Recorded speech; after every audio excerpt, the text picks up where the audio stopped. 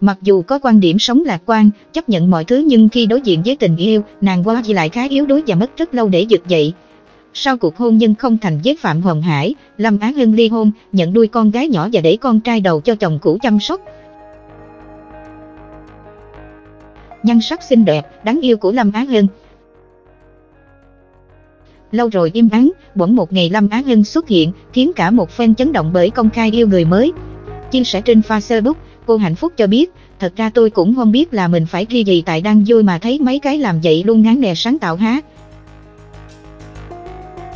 Theo tìm hiểu, anh chàng giúp quá dị mở lòng đón nhận hạnh phúc sau ly hôn là Bùi Công Kha chủ số thời trang có tiếng ở Sài Gòn. Bạn trai của Lâm Á Hưng sở hữu diện mạo phong trần, điển trai cùng với đó là gào ăn mặc đầy ấn tượng. Đẹp cả đôi. Bạn trai cung ngầu vừa chạy xe mô to, bảo sao Lâm Á Hưng mê mệt.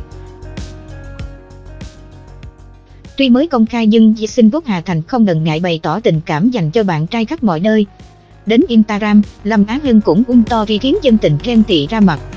Rõ ràng biết cô nàng đang giận nên công Kha liền đánh dấu chủ quyền lên tay với dòng chữ Kha này của Hưng nha, đi ra đi.